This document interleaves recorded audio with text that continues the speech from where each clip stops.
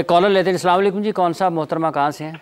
अल्लाह वालेकुम अस्सलाम। मैं कशफ बात कर रही हूँ लाहौर से। जी मैडम। फरमाइए। जी मेरा सवाल ये है कि जो मेरी वालदा है उन्होंने दूसरी शादी की हुई है क्योंकि मेरे वालिद साहब के का इंतकाल हो गया था। हम्म। हम तीन बहनें हैं और जो हमारे स्टेप फादर है उनकी भी पहले शादी थी उससे उनकी भी दो बेटे हैं। तो उनकी जो जायदाद है उसमें हमारा हिस्सा होगा? हम्म। जी नहीं होगा। ये जो है ना इनकी वालदा की जो जायदाद होगी ना हाँ। उसमें से इनका हिस्सा है। अच्छा। लेकिन ये जो दूसरे फादर हैं अच्छा। उनकी जायदाद में से इनका हिस्सा नहीं है। उनकी जायदाद में जायदाद में सिर्फ़ उनके बेटों और बेटियों का है उनकी औलाद का है। उनके औलाद का हाँ। मुसब इसमें इसमें ज़रा सवाल दोबारा दोहराइएगा। वालदा की दूसरी शादी है। ऐसा ही है जी सवाल मुसब वालदा की दूसरी शादी है।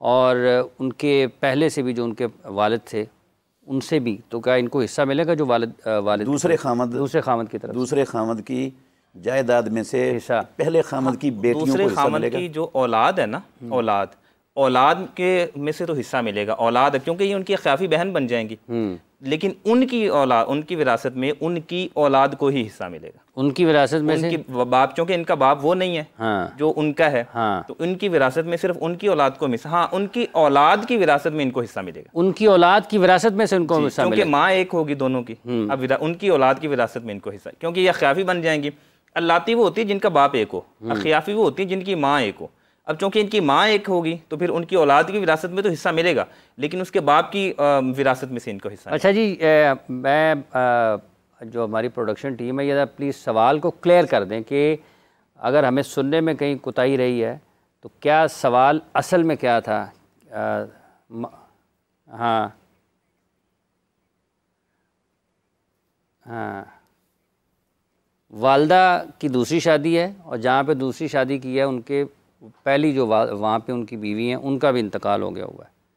उनके उनके दो बेटे हैं इनकी तीन बेटियाँ ये सवाल है।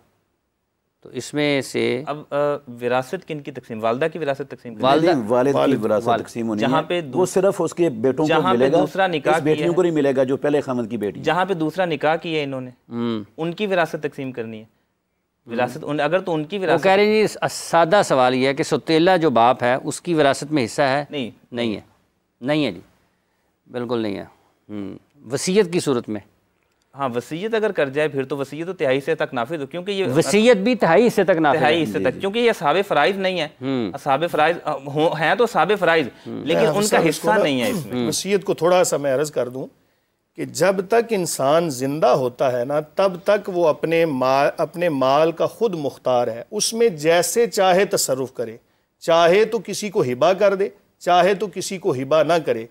अगर औलाद को हिबा करना चाहता है तो इसके लिए लाजिम है कि उन तमाम औलाद के अंदर बराबरी करे। बेटे और बेटियाँ इन तमाम को बराबर हिस्सा दे। हम्म। लेकिन जब ये दुनिया से चला जाता है अब ये अपने माल का खुद मुख्तार नहीं नहीं रहा। हम्म। अपने माल पर इसको इख्तियार नहीं अब इसका माल अल्लाह के हुक्म के मुताबिक तकसीम होगा। जब तक ज़िंदा है तब तक वो अपने माल में से जिसको चाहे मालिक बनाए।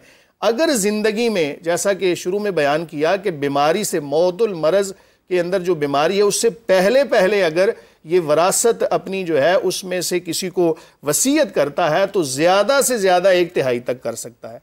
और जब ये दुनिया से जाएगा तो एक तिहाई तक इसके माल का जो हिस्सा है वो इसकी वसीयत पर अमल कर वसीयत पर अमल कर जा सकता है वरना वरना मुफ़्त ये अगर कोई बे औलाद है उसको औलाद नहीं है उसकी और उसने किसी और को पाला और उसकी ले पाला को औलाद है।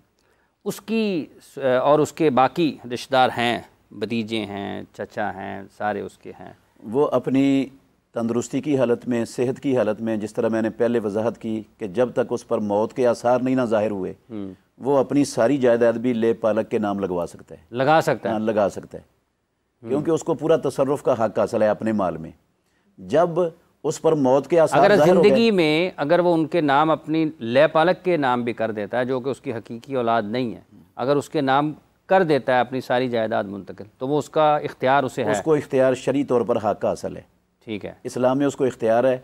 जो उसके भाई हैं हम्म। भतीजे हैं हम्म। वो एतराज़ नहीं कर सकते नहीं कर सकते। पर। हाँ भाई भतीजे एतराज़ नहीं कर सकते। उसकी ज़िंदगी में अगर ये काम हो गया और अगर नहीं हुआ? नहीं हुआ। तो फिर इसको एक पैसा भी नहीं मिलता अगर वसीयत नहीं की तो। अगर वसीयत नहीं की तो एक पैसा भी नहीं मिलेगा। एक पैसा सारे का सारा वो बहन भाइयों में तकसीम हो जाएगा। ठीक है जी कॉलर जी हमारे साथ। अलैक्म जी कौन सा मोहतरमा कहाँ से हैं? वालेकुम अस्सलाम मैं आलिया बात कर रही हूँ शेखपुरा से। आ, मुझे ये पूछना है कि मुझे मेरी पुप्पो ने गोद लिया था लेकिन उनके अपने चार बच्चे भी हैं। तो अब उनकी पुप्पा की भी और पुप्पो की भी डेथ हो गई हुई है। लेकिन उन्होंने अपने बच्चों को वसीयत की थी कि मुझे भी वो गैर ना समझे मुझे भी वो अपना सगा बहन भाइयों की तरह समझें और मेरे साथ कोई ज्यादती ना होने दें। तो मैं ये जानना चाहती हूँ क्या क्या मेरा उनकी जायदाद या उनके किसी माल में से मेरा हिस्सा है सही तौर पर या नहीं? ठीक है। जी बसमीम देखें अगर तो उन्होंने आपकी अपनी ज़िंदगी के अंदर कोई माल मुतन कर दिया या कोई हिस्सा मुकर कर दिया इतना हिस्सा देना है दस परसेंट बीस परसेंट एक तिहाई अगर तो अपनी ज़िंदगी के अंदर मुकर कर गए फिर तो आपको हिस्सा मिलेगा। मतलब जो अभी सवाल हम कर रहे थे उसी वो उसका उसूल वही है। उसूल वही है जी बिल्कुल। कि अगर तो अपनी ज़िंदगी में भले सारे का सारा कर दें मुंतकिल कर दें लेकिन हाँ एक बात और जहन नशीन रहे। अच्छा इसके लिए वसीयत हो सकती है? वसीयत हाँ ले पाले के लिए वसीयत हो सकती है क्योंकि ना ये साबित फ़राइज में आता है ना असबात हम्म। के अंदर आता है इसके लिए वसीयत हो, हो हम्म। सकती है। लेकिन अगर तो औलाद मौजूद है असाब फरज मौजूद हैं वारिस मौजूद है वारिस की मौजूदगी में अगर किसी को सारा वसीयत कर देते हैं तो ये गुनागार होगा बंदा। अच्छा। बाप है माँ है चाहे कोई भी है अगर मौजूदगी के अंदर क्योंकि उनको सबको आग कर रहा है ये। सबको कुछ नहीं दे रहा हम्म। और सारे का सारा ले पाले के नाम कर रहा है। हम्म। अब ये बंदा गुनागार होगा। इस्लाम ने जिनके हिस्से मुकर किए उनको तो देना चाहिए। वो हम्म। तो मरने के बाद ही उसकी विरासत होगा। हाँ अगर दुनिया के अंदर अगर तिहाई हिस्से तक ये कर जाए तो फिर गुनागार भी नहीं होगा और एक तो सिला रहमी भी हो जाएगी इसके साथ और गुनागार भी नहीं होगा।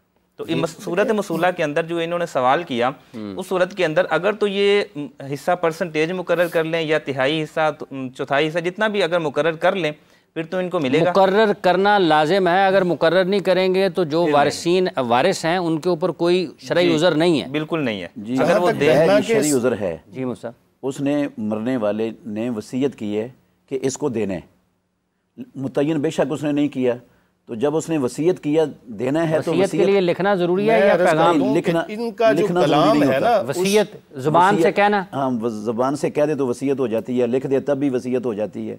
वसीयत अगर उसने कर दी है ना हम्म। कि इसको देना है हम्म। और मुतन नहीं किया हम्म। तो एक बड़ा तीन तक देना पड़ेगा उसको देना पड़ेगा ये इनका जो कलाम है ना कि इसको भी आपने फैमिली का हिस्सा समझना है अब देखा जाएगा कि इससे मुराद उनकी क्या थी अगर तो उनकी मुराद ये थी कि इसको वरासत में से हिस्सा देना और वो मुतन नहीं करके गए दुनिया से तो ऐसा लग रहा है कलाम से ज़ाहिर हो रहा है कि वो इसको अपनी वरासत में से हिस्सा देना चाहते हैं और उनका ये कलाम वसीयत पर महमूल होगा और वसीयत एक बटा तीन तक उस पर अमल होता है। लिहाजा अगर वो दुनिया से चले गए हैं तो आपके जो दूसरे बहन भाई हैं, जो मुँह बोले बहन भाई हैं, उनको चाहिए कि अपने जो वालिद हैं या वालदा हैं, उनकी वसीयत पर अमल करते हुए एक बटा तीन तक आपको दें हिस्सा और बाकी जितनी भी उनकी जायदाद बनती है वो सारी की सारी अल्लाह ताला के हकाम के मुताबिक तकसीम करें। हम्म। यहाँ पे ये उसूल याद रखना भी ज़रूरी है कि जैसे ही कोई दुनिया से जाए सबसे पहला काम ये करना चाहिए। हमारे यहाँ बहुत बड़ी एक ख़राबी ये भी है कि जनाब एक बंदे की जायदाद तकसीम नहीं हुई वो भी फौत हो गया दूसरा है उसकी भी तकसीम हुई वो भी फौत हो गया। तो तीन नस्लों के बाद जाके बाज़ दफ़ा ज़मीन जायदाद तकसीम हो रही होती है। जिसकी वजह से बहुत सारे फसादात का सामना करना पड़ता है। जैसे ही कोई दुनिया से जाए तो फिल फौर इस अमल को करना चाहिए तो बेहतर यह है कि अपनी ज़िंदगी में सारे कर, तकसीम कर दें। बजाय इसके के बाद में फसाद सब एक